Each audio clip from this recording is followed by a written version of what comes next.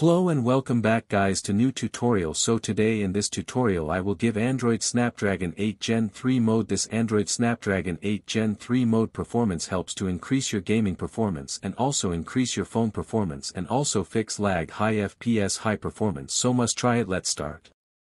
I know guys you are facing lag problem low performance in your Android phone so don't worry I am here to solve your every problem. Just comment what problem you are facing in your Android game and phone and I will try to make tweak to solve this problem. I hope you like and subscribe my channel. So this tweaks working both root and no root device boost gaming and Android performance.